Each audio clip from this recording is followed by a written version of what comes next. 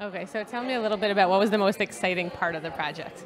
Really, the most exciting part of the project was actually seeing the solution change myself, which was slightly unnerving because it starts out very, very dark blue, and then all of a sudden it's just like pale. And it's very strange. So that was very exciting. Was there a part of it that you found to be particularly challenging at any part along the journey? Yeah. Specifically, the beginning.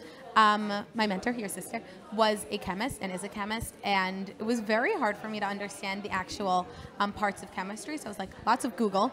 I was like, what is polar? What is nonpolar? So, um, but then once I learned the basics, I was able to start the project, and I found that it wasn't so difficult once I understood the very um, simple background to the actual when you were doing the project, were there like physical challenges? Like, how did you, I don't know, keep things sterile, deal with toxic chemicals, right. you know? So, um, the chemicals were toxic, which was very, very scary and weird to work with. I have six younger siblings, so I refused to do it inside the house. I did it in my garage, and I had to get a gas mask and gloves and everything to be able to work with it.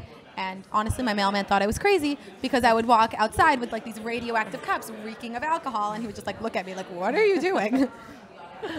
so, um, uh, where do you see yourself going next in STEM? Like, what would you wanna? Where do you want to go from here?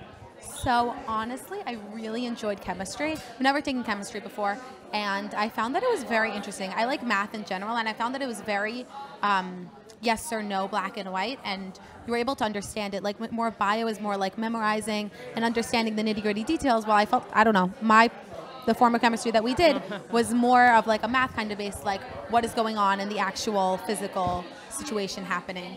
I guess on a molecular level also. Uh, would you recommend magic to a friend? Yes. And why?